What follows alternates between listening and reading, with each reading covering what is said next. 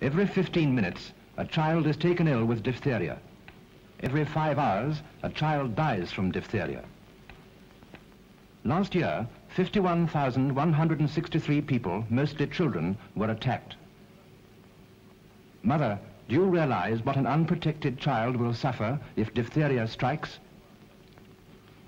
Diphtheria germs enter the mouth and nose, and here they produce sores.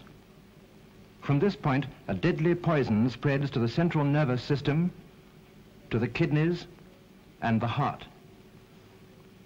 Once the disease has reached this stage, the child is sure to die. But when the child has been immunized, a powerful protective force awaits the entry of the diphtheria germs. Before they can entrench themselves and spread their fatal poison, they are attacked, weakened, and often totally destroyed. Mother, have you forgotten to protect your child?